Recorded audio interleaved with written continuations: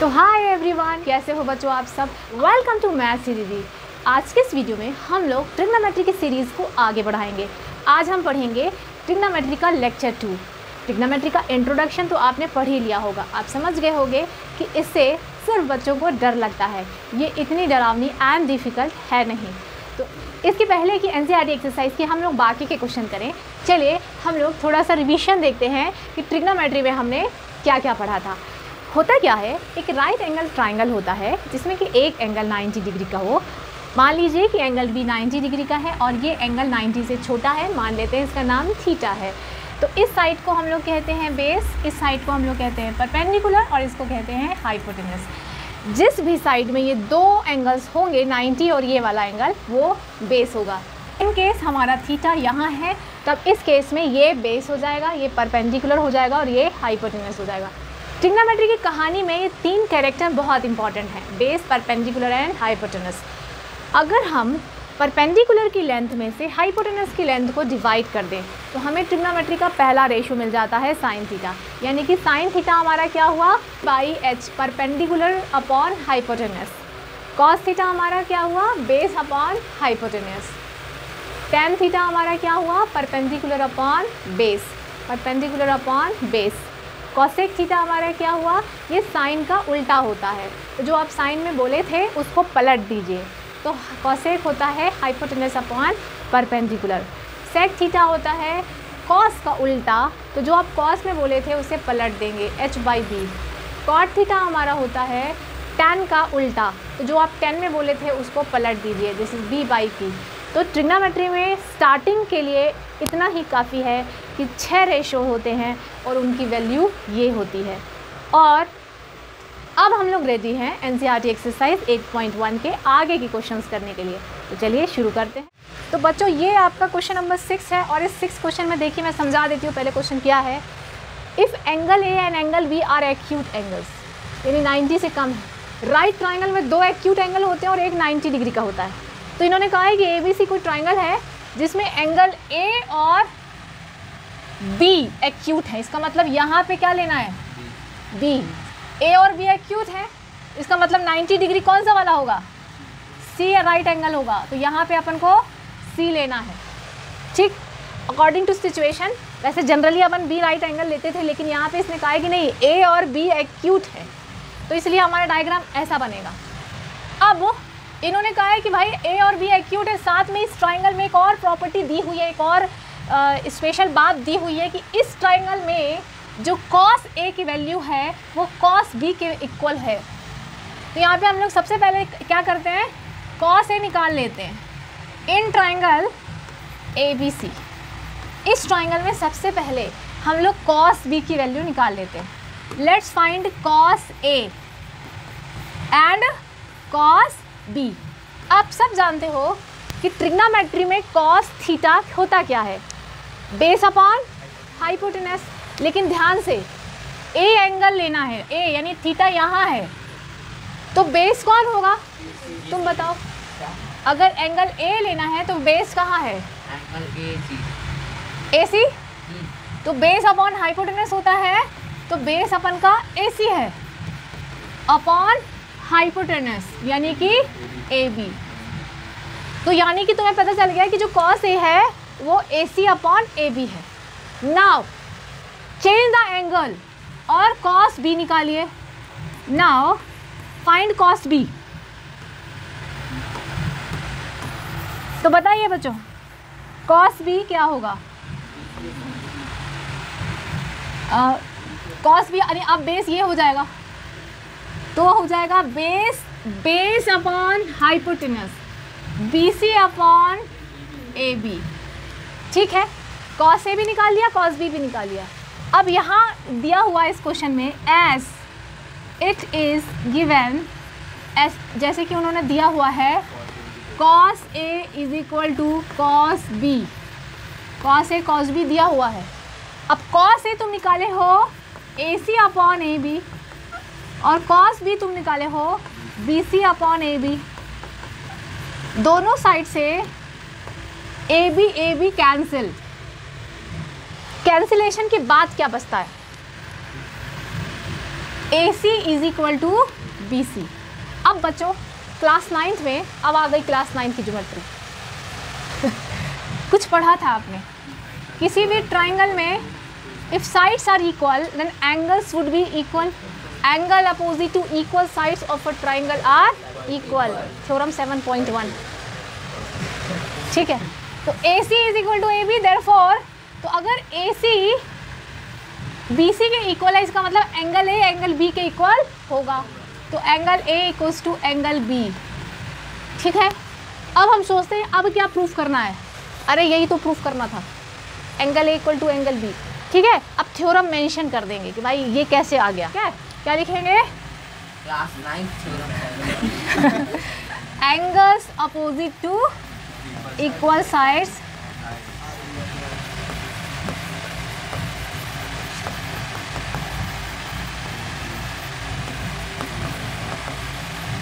of a triangle are equal इसको पूरा लिख लेंगे कि angles opposite to equal sides of a triangle are equal therefore angle A equals to angle B hence proved और इसलिए ये प्रूव होता है। ठीक है। यहाँ से देखिए क्वेश्चन नंबर सेवन में क्या दिया है? यहाँ पे कॉट थीटा दिया है seven by eight and evaluate हमें फाइंड करनी है। दो चीज़ें निकालनी है यहाँ पे। एक तो ये पूरा और दूसरा कॉट स्क्वायर थीटा ठीक है? तो इस क्वेश्चन को हम ऐसे लेंगे कि भाई कॉट थीटा दिया है, पहले हम लोग साइन थीटा निकालेंगे कॉस थीटा निकालेंगे और फिर इसमें पुट कर देंगे। ठीक है? तो कॉट थीटा गिवन है तो उससे साइन थीटा कॉस थीटा कैसे निकालेंगे? पहले हम लोग राइट एंगल ट्राइंगल बनाएँगे।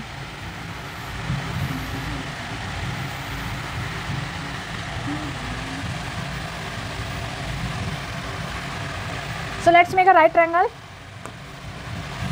Suppose triangle's name is abc ये एंगल यहाँ पे थीटा है। अच्छा अब बच्चों, यहाँ से अपन सॉल्यूशन चालू करते हैं।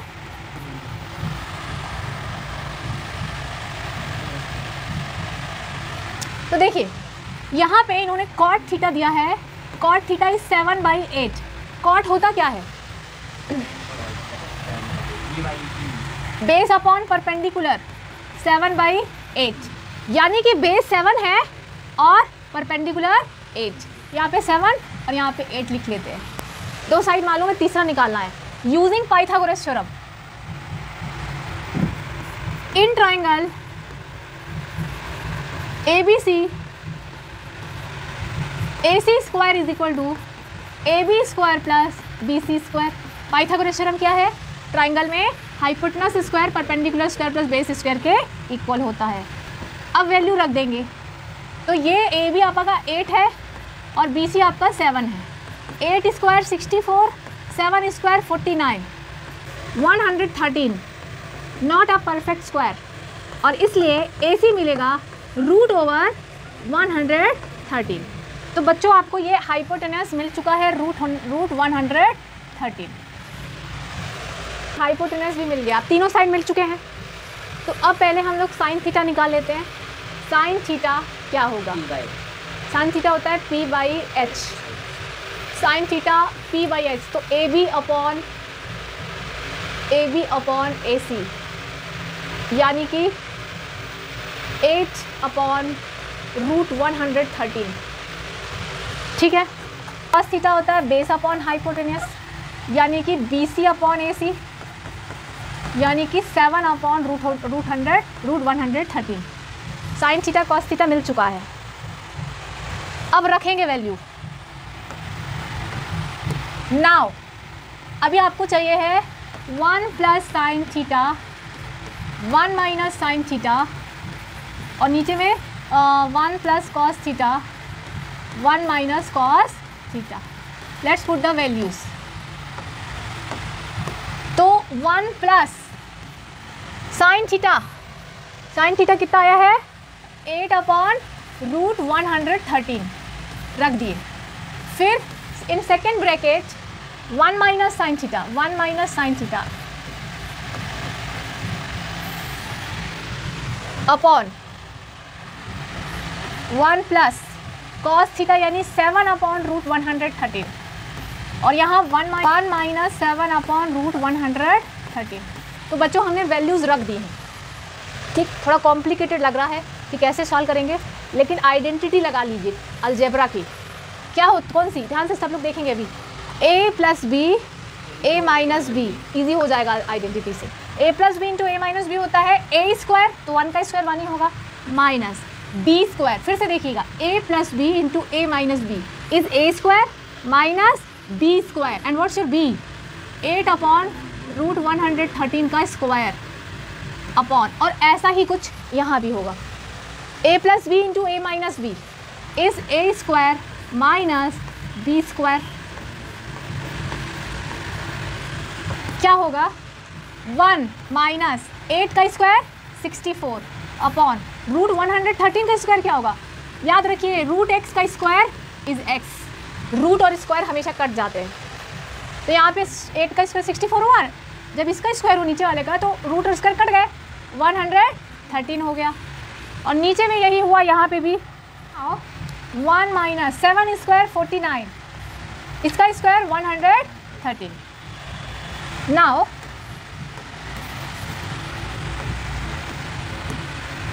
थोड़ा सा इसको और सॉल्व करना है एलसीएम लेके। बच्चों, इनको, दोनों का एलसीएम क्या होगा?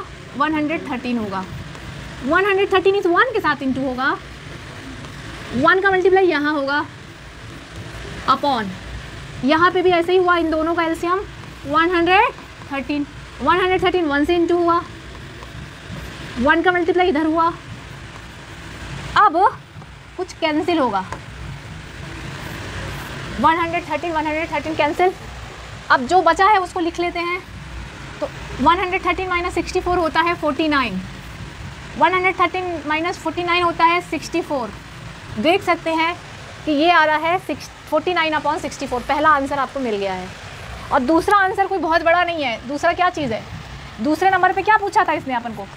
कॉट देखिए क्या निकालना है? Cot square theta cot square theta मतलब कि कॉट थीटा और उसका स्क्वायर तो कॉट थीटा तो हमें क्वेश्चन में दिया ही है। कितना दिया था?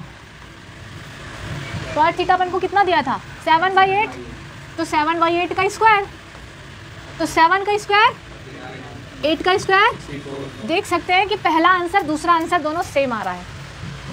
तो that is how to do this question यानी कि कॉन्सेप्ट वही था, एक दिया है, बाकी के निकालना। लेकिन इसमें रखना वखना था पुट करके कॉम्प्लिकेशन बढ़ा दिया गया था, बाकी वही था। ठीक? तो नाउ यू कैन राइट चलिए, बच्चों, ये है question number eight in this question number eight यहाँ पे लिखा है if cot A is equal to four if three cot A equal to four अगर थ्री कॉट ए फोर है देन चेक वेदर चेक करिए कि ये जो वैल्यू है, वो इसके इक्वल है कि नहीं। तो एक चीज़ तो पता चल गई हमको कि भाई कॉट ए की वैल्यू क्या दी हुई है? फोर बाई थ्री तो ऐसा ना देखे कि cot theta is four by three इन्होंने ऐसे फॉर्मेट में दे दिया था। ठीक? तो हमें पता चल गया कि कॉट ए यहाँ पे फोर बाई थ्री है। अब ये कैसा क्वेश्चन है? एक ट्रिग्नोमेट्रिक रेशो दिया है? और आपको टेन निकालना है कॉस निकालना है साइन निकालना है और चेक करना है दोनों इक्वल है कि नहीं। ठीक है? तो वही काम चालू होता है। कॉट क्या होता है? Base upon perpendicular four by three right triangle बनाएँगे। या हमने ए ले लिया है बी ले लिया है, या सी ले लिया है। ठीक है? तो cot A base upon perpendicular तो बेस कितना होगा? फोर परपेंडिकुलर थ्री हाइपोटेनस अभी पहले निकालना है। तो in triangle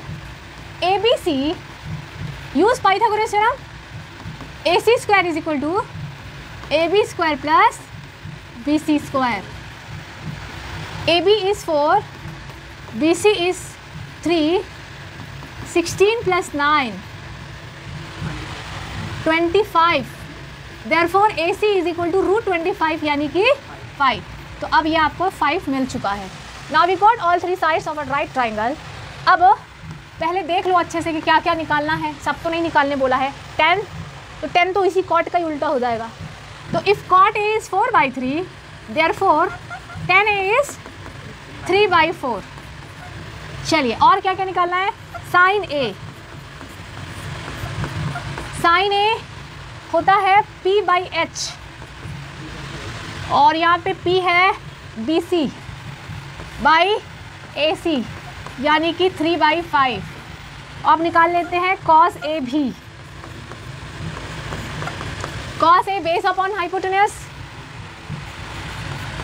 यानी कि ए बी अपॉन ए सी यानी कि फोर बाई फाइव तो देख सकते हो बच्चों साइन कॉस टेन सब मिल चुका है। जस्ट हमें वहाँ पे रखना है। पुट करके चेक कर लेते हैं। तो सबसे पहले हम लोग चेक करेंगे कि one minus tan square A upon one plus tan square A की वैल्यू क्या है? पहले इसमें वैल्यू रखी जाएगी। वन माइनस टेन ए, कितना आया था? Three by four. रखिए वैल्यू, थ्री बाई फोर उसमें रख देना है। अब करेंगे इसे सॉल्व। थ्री का स्क्वायर नाइन, फोर का स्क्वायर सिक्सटीन। थ्री का स्क्वायर नाइन, फोर का square sixteen. Sixteen LCM sixteen का मल्टीप्लाई यहाँ वन का मल्टीप्लाई वहाँ। फिर यहाँ पे भी sixteen LCM sixteen plus nine sixteen sixteen cancel अब बचता है आपके पास जो कुछ भी, वो लिख लीजिए। सिक्सटीन माइनस नाइन सेवन और sixteen plus nine twenty five तो बच्चों, आपका पहला जो आंसर है one minus tan square A upon one plus tan square A वो कितना आ रहा है? Seven upon twenty five. ऐसे ही दूसरा भी निकालना है। कितना लिखिए। तो आपका ये फ़र्स्ट मिल गया है। अब सेकंड पार्ट निकालते हैं। बच्चों सेकंड क्या है? नाव अब क्या निकालना है? Cos square A minus sine square A तो बस जो आपको वैल्यू मिली है ना कॉस साइन की, वो रखना है। कॉस कितना मिला था आपको? कॉस मिला था फोर बाई फाइव और sine three by five. Square कर देना है। तो फोर का स्क्वायर सिक्सटीन, फाइव का स्क्वायर ट्वेंटी फाइव, थ्री का स्क्वायर नाइन, फाइव का स्क्वायर ट्वेंटी फाइव। अब twenty five LCM sixteen minus nine, seven. तो देख सकते हैं कि फ़र्स्ट वाला भी सेवन बाई ट्वेंटी फाइव आया था, सेकेंड वाला भी twenty five, seven by twenty five आया। Yes they are equal one minus tan square A upon one plus tan square A is equal to cos square A minus sine square A ठीक है? तो ये है आपका question number eight now question number nine इसके दो parts हैं। In triangle A B C right angle at Q यानी कि एंगल क्यू 90 डिग्री है। ठीक है? अच्छा और सॉरी राइट क्यू कहाँ बी दिखा? मुझे पता नहीं वो क्यू क्यों लग गया। राइट एंगल एट बी यानी कि बच्चों एंगल बी इज़ 90 डिग्री तो ये इन्फॉर्मेशन दी है कि राइट ट्राइंगल है कोई, उसमें एंगल बी 90 डिग्री है। फिर साथ में दिया है tan A tan A is equal to one by root three tan A one by root three है। तो आप राइट ट्राइंगल बना लेंगे। यहाँ ले लेते हैं ए यहाँ ले लेते हैं बी यहाँ ले लेते हैं सी ठीक है? Tan A one by root three है। वहाँ लिया है ए तो टेन ए होता है बच्चों tan theta is basically perpendicular upon base ठीक? परपेंडिकुलर वन और बेस रूट थ्री। तो यहाँ पे बेस कौन है? तो यहाँ रूट थ्री लिख देना है। परपेंडिकुलर वन हाइपोटेनस निकालना है। तुम लोग चाहते तो ए यहाँ लिख लेते तो सिंपल वाला हो जाता। कर सकते थे वैसा। ठीक है? लेकिन ऐसा भी अपन को आदत होनी चाहिए। Now by Pythagoras theorem by Pythagoras theorem A C square is equal to A B square plus B C square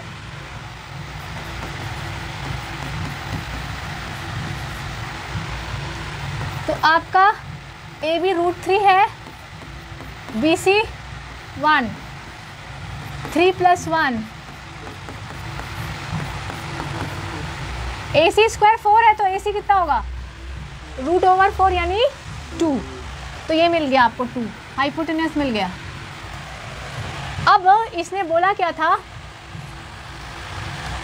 कुछ चीज़ें निकालनी है यहाँ पे।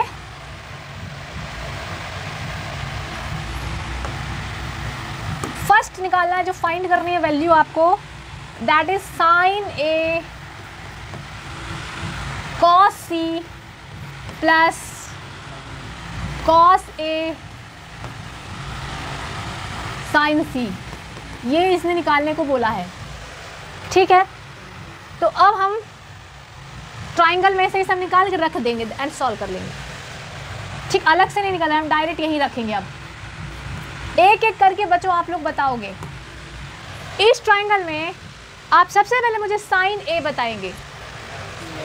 हाँ।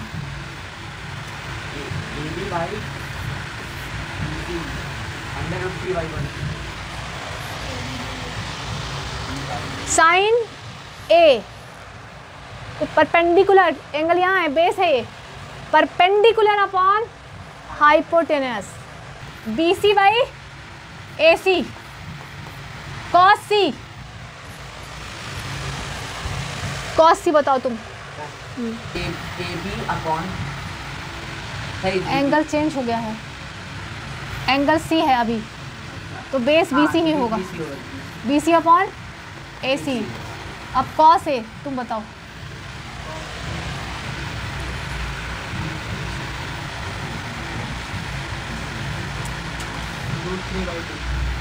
ठीक है। ए बी अपॉन ए सी और साइन सी हो जाएगा। ए बी अपॉन ए सी आप सबकी वैल्यू रख देते हैं। ठीक है? तो ये B C upon one by two फिर ये हो जाएगा आपका वन बाई टू प्लस अच्छा सेम तो है ना उन लोग। और ए बी क्या है? Root three root three by two और ये भी रूट थ्री बाई टू तो one by four one into one one two two ज़ा four root three into root three three two two ज़ा फोर तो फोर एल्सियम three plus one four finally answer आ जाएगा one तो जैसा बच्चों मैंने first बताया है सेकेंड होमवर्क है सेकेंड आप लोग कर लीजिएगा. तो देखिए, अब तक हमने जैसे कि देखा कि किसी ट्राइंगल में राइट ट्राइंगल में दो साइड मालूम होते थे और तीसरा साइड हम पाइथागोरस से निकालते थे और हम लोग कोई भी ट्रिग्नोमेट्रिक रेशियोस निकाल सकते हैं। लेकिन जो हमारा क्वेश्चन नंबर टेन है दैट इज़ क्वाइट डिफरेंट उसमें एक right triangle P Q R दिया हुआ है, जिसमें कि राइट एंगल क्यू पे है। In right triangle P Q R right angle at Q और इसमें दो साइड नहीं दिए हैं, सिर्फ़ एक साइड की लेंथ मालूम है। एक साइड पी क्यू की लेंथ जो है वो फाइव सेंटीमीटर दी हुई है। साथ में बाकी के जो तो साइड हैं P R plus Q R P R plus Q R इन दोनों का सम कितना है? 25 सेंटीमीटर दिया हुआ है।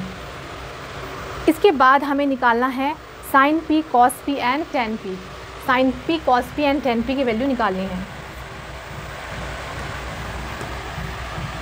तो सबसे पहले हम लोग लिखेंगे।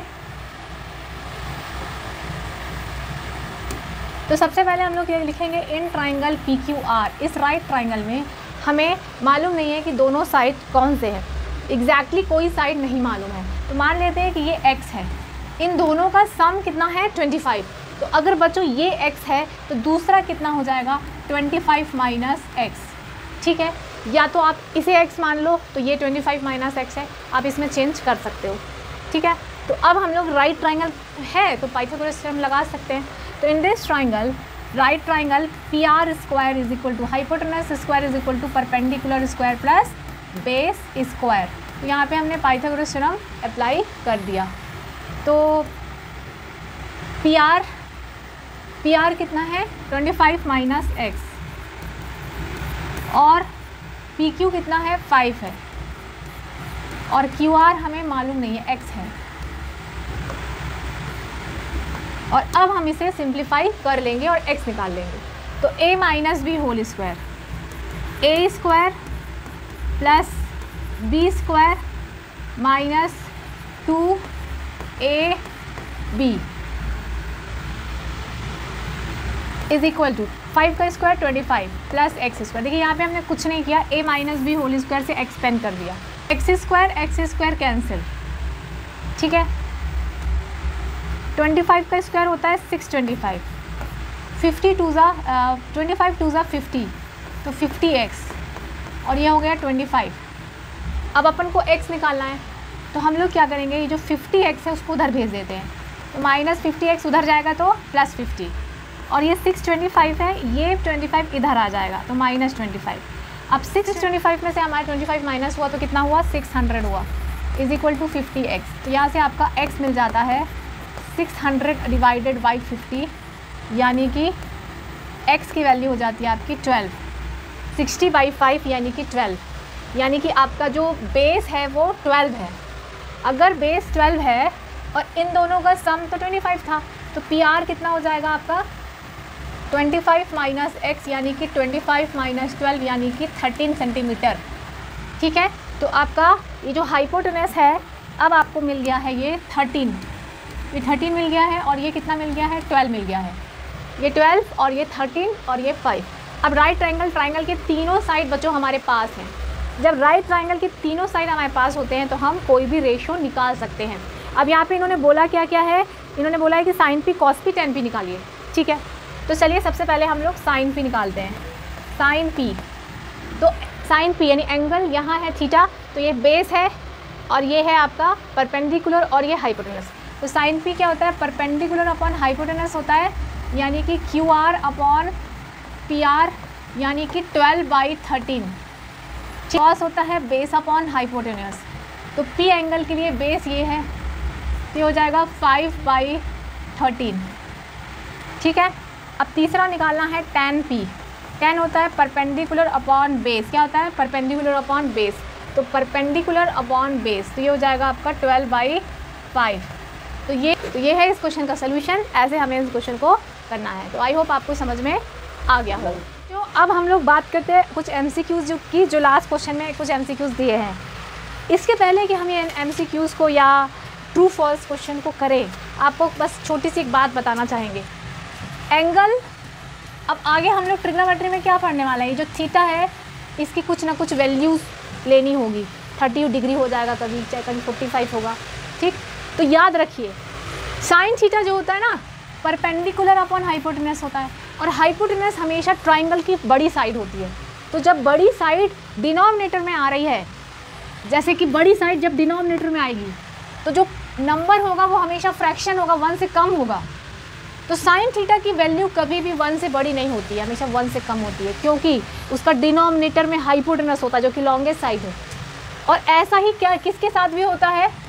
कॉस के साथ भी होता है। उसके डिनोमिनेटर में भी लॉन्गेस्ट साइड है। तो साइन और कॉस कभी वन से बड़े हो ही नहीं सकते। बहुत होगा तो वन के इक्वल होंगे अगर ये दोनों इक्वल हो जाए किसी स्पेशल केस में बेस और हाइपोटेनस अगर इक्वल हो जाए तो वन हो जाएगा वो। अदरवाइज़ उससे बड़े नहीं हो सकते।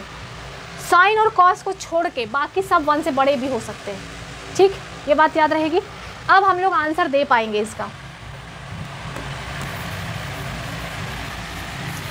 फ़र्स्ट क्वेश्चन है, फ़र्स्ट इलेवन का फ़र्स्ट है the value of tan A कह रहा है कि टेन की वैल्यू हमेशा वन से छोटी होती है। क्या ये सही है? Tan A is always less than one मैंने तो दो के लिए बताया है ना कंपल्शन साइन और कॉस टेन के लिए ऐसा नहीं होता है। तो no it is false tan can be more than one one से बड़ा हो सकता है टेन सेकेंड सेकेंड में पूछ रहा है कि सेक ए की वैल्यू ट्वेल्व बाई फाइव हो सकती है क्या? फॉर सम एंगल ए तो सेक ट्वेल्व बाई फाइव फ़ी वन से बड़ा है। तो क्या सेक कभी वन से बड़ा हो सकता है? Yes yes. दो ही नहीं हो सकते साइन और कॉस ये हो सकता है। Third cos A is the abbreviation use for the cosecant कह रहा है कि कॉस ए का फुल नेम क्या है? क्या ये है? कोसिकेंथ ये तुमको बताना, मैंने तुम लोग को बता दिया है। कॉस ए क्या, इसका फुल फॉर्म शॉर्ट फॉर्म है? इसका शॉर्ट फॉर्म क्या है? कॉसेक और कॉस का फुल नेम क्या था? कोसाइन था। तो ये बात भी गलत है। थर्ड में कह रहा है कि क्या इसका एवरीवेशन कॉस का होता है? नो फॉल्स है ये भी। Fourth cot A is product of cot and A बहुत ही ज़रूरी बात इंपॉर्टेंट बात। जो तुम्हें जानना चाहिए, जिसके लिए हमेशा स्टूडेंट ट्रिग्नोमेट्री में गलती करते हैं। ध्यान से सुनिए। कभी भी साइन थीटा लिखा है बच्चों। इधर देखिए। तो इसका मतलब ये नहीं है कि साइन और थीटा मल्टीप्लाई हो रहे हैं। ये मतलब नहीं है। Without theta this sine does not exist theta के बिना ये साइन लिखा ही नहीं जा सकता, कोई मतलब नहीं है इसका। एंड दे आर टुगेदर ये पूरा एक है। इट इज़ नॉट प्रोडक्ट और इसलिए कभी आप बहुत कॉमन मिस्टेक होती है। ऐसा ट्रिग्नोमेट्री में बच्चे लोग अक्सर कर देते हैं, थीटा थीटा कैंसिल तो ये नहीं हो सकता। Because actually it is not product कि सिंगल है कुछ, ठीक? तो फोर्थ वाला कि प्रोडक्ट है ऐसा, ये वाली बात भी रॉन्ग है। हालाँकि उसने कॉट के लिए पूछा है। Cot is a product of cot and A no it is false and the last last में इन्होंने पूछा है sine A four by three हो सकता है क्या किसी एंगल पे? फोर बाई थ्री यानी कि फोर वन से ज़्यादा। कैसे पता चलता है कि वन से ज़्यादा है कि छोटा है? न्यूमरेटर अगर बड़ा है और डिनोमिनेटर छोटा है तो वो वन से बड़ा होगा। ठीक है? तो this is something greater than one one point three something है। तो क्या साइन किसी एंगल पे वन से बड़ा हो सकता है? मैंने आपको शुरू में ही बता दिया था कि ऐसा नहीं हो सकता है। साइन का भी वन से बड़ा नहीं हो सकता है। तो दिस इज़ ऑल्सो फॉल्स। तो यहाँ से आपकी एक्सरसाइज कंप्लीट होती है।